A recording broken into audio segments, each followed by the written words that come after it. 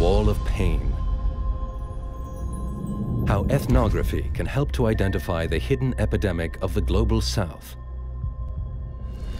Julie Livingston, Rutgers, the State University of New Jersey. When the wall came down, I was in my hometown, Boston, visiting my grandmother in the hospital. Good morning, um, and many thanks to the organizers and especially the Wissenschaftskolleg for providing me the opportunity to speak with you. It's wonderful to participate in marking what I think is a very important day here in Berlin. Unlike my uh, fellow speakers today, I don't have any images or sounds or multimedia to offer you, only some words about pain, even though some people have said that pain is an experience that defies language.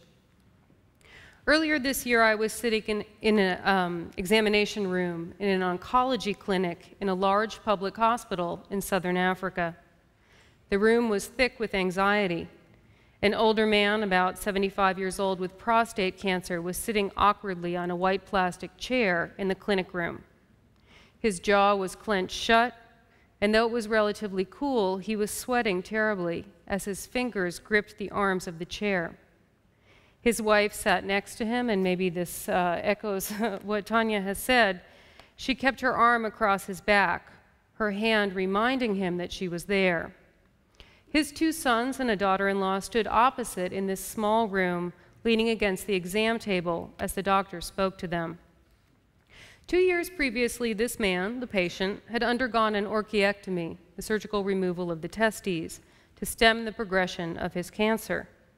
If he'd been in a wealthier context, he could have taken an expensive hormone therapy instead. The surgery, while intense, had helped him but it couldn't hold off the cancer forever, and so now he was entering the final stage. But it would be several months before he died, and already the metastases were pushing pain through the marrow of his bones. This pain was exquisite, and he remained quiet during the conversation, totally absorbed in the struggle to maintain his composure. Palliative radiation could have helped him, but the linear accelerator in this hospital, one of only two sites for radiation in the country I was in, was broken, as it had been for some time, and it looked like it might be many months before it could be fixed. There was paracetamol, a mild analgesic, stocked in the hospital pharmacy, but even though the patient was taking it, it was clearly inadequate to provide him relief. Morphine could have helped, but it wasn't available, not stocked in this hospital pharmacy. Morphine is not a very expensive drug. The patent has long expired if there ever was one, so his family could have purchased it for him. But it was out of stock in all the private pharmacies in this city of one and a half million people. Most pharmacists were uh, afraid of running afoul of a thicket of laws surrounding illicit distribution and possession of opiates, which carried very, very steep penalties and therefore opened them to harassment and extortion by the police. And so they simply didn't uh, stock opiates at all. There were rumors that a hospital in a neighboring city, some several hundred kilometers away, did have morphine.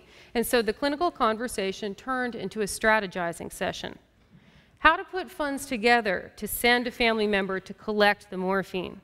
Who among them could spare three days to make the round trip by public bus? Where would this person spend the night in this other city?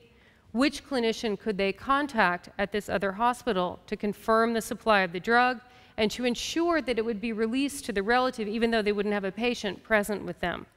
This scene I've just described of managing pain without medicines is an all too common one in hospitals and private homes across the global south. Sometimes it's an elderly father with prostate cancer.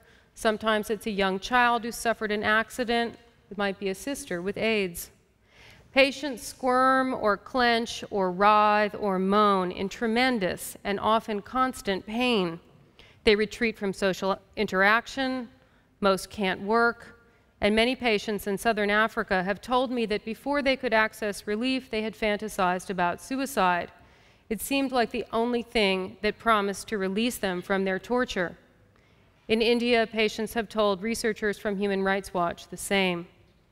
One AIDS hospice in Vietnam had no HIV or TB medications and no opioids when they opened in 2001, and so they built a screaming room Whereas palliative care specialist Eric Krakauer explains staff could tend to those patients in extreme distress while also maintaining the well being of their fellow hospice residents.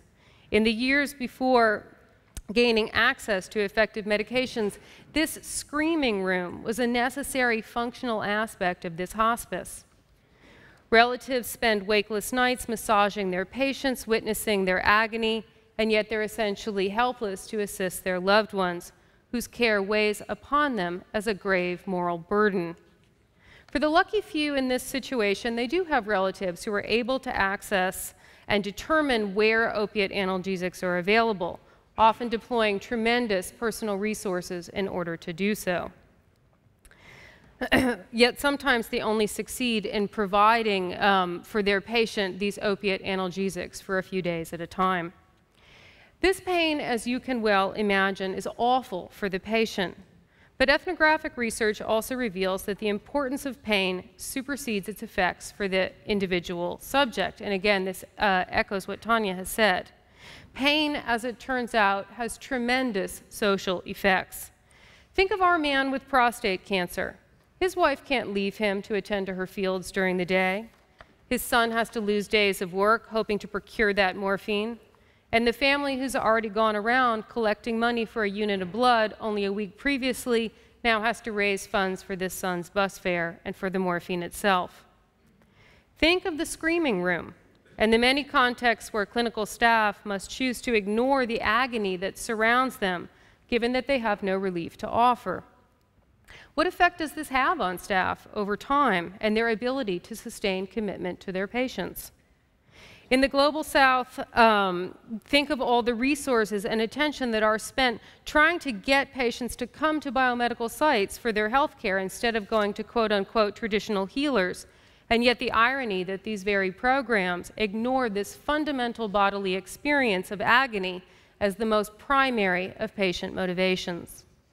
When Sebastian Turner helped uh, to put together the far more exciting title for my talk than I myself probably could have come up with, it did promise that ethnography would be integral to breaking down walls.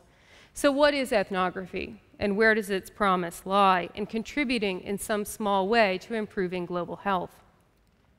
Well, unlike many of my colleagues here, this isn't rocket science that I have to offer.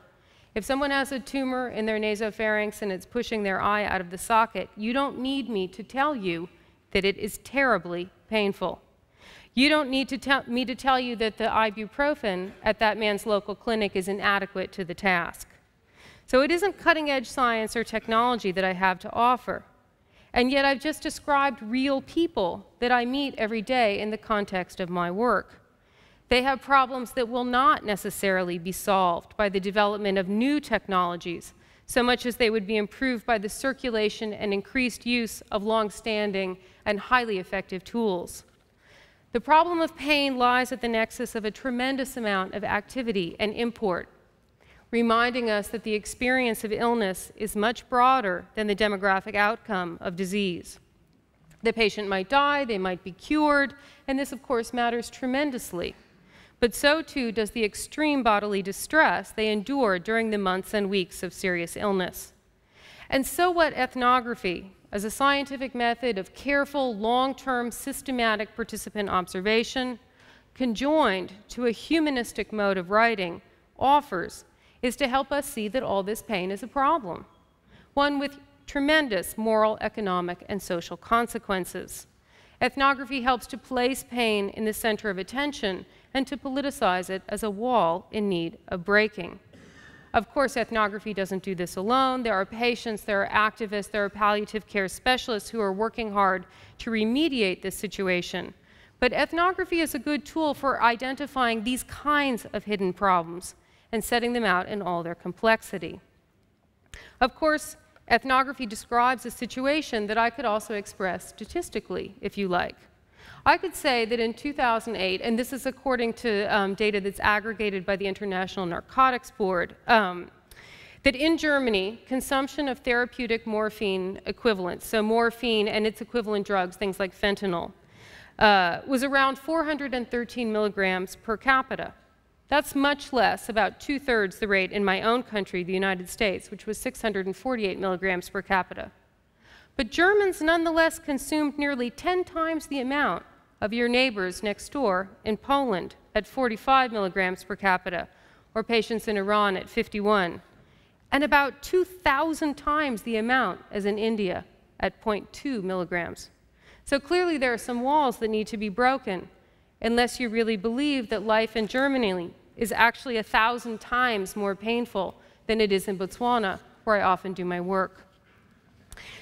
And yet, it's taken a great deal of hard work for many years by people in the palliative care movement to try to bring pain to the attention of national and international policymakers, funders, and even clinical staff in many areas of the world. If I had started my talk by asking you all to name what you think the pressing problems in global health are right now, you probably would have mentioned HIV, maybe tuberculosis, maybe malaria, maybe maternal mortality. And you would be right. But pain itself probably wouldn't have occurred to you, even though it is the dimension of the illness experience that's the easiest for you to envision, given that pain is something which unites us as human beings. And until the past decade or so, the kind of statistics that I just gave you were aggregated by the Narcotics Board, but not discussed very much in public health outside of the very small world of global cancer care and palliative care. For many years, other issues seemed more pressing in the zero sum world of global health, where various diseases and tools compete for attention and resources.